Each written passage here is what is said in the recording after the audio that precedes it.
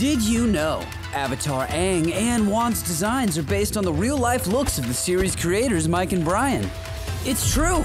It was only ever a joke between these two The 12 year old Aang's bald and beautiful hairstyle was inspired by Mike.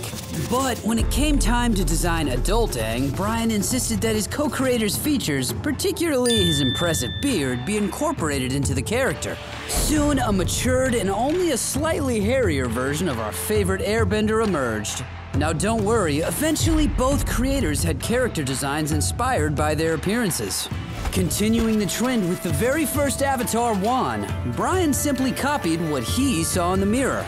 Describing the process, Bryan said that he drew Wan's scrawny, lanky, and triangular face, but with much cooler hair. It is a fantasy after all. So the next time you're looking for inspiration, just like these talented creators, you may not need to go far.